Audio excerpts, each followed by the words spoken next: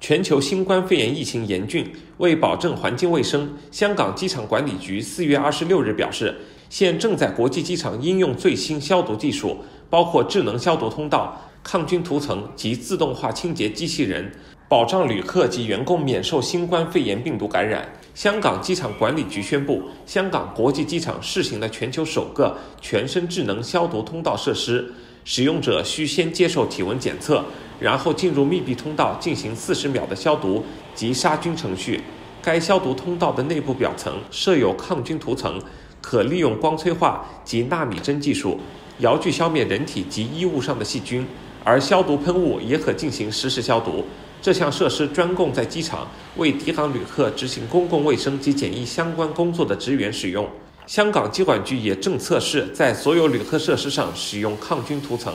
无形的抗菌涂层能消灭病菌，应用于客运大楼内经常使用及接触的设施表面，包括旅客运输系统及旅客专车的扶手及座位、智能登机柜台及旅客登机柜台、洗手间、客运大楼座位区、手推行李车、升降机按钮等。在五月完成测试工作后，机管局会考虑将有关技术长远应用于消毒工作。此外，机管局也采用全自动化清洁机器人，全面消毒机场各处公共地方及旅客设施。可移动的智能消毒机器人配备紫外线消毒灯及空气过滤器，只需十分钟便能有效消灭附近空气及对象表面多达百分之九十九点九九的细菌。香港机管局机场运行副总监姚兆聪表示，机管局会竭尽所能将香港国际机场打造成全球最安全机场之一。